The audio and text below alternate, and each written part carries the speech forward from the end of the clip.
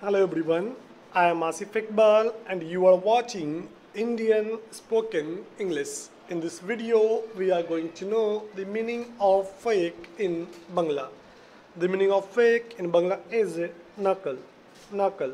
The meaning of fake in Bangla is nakal.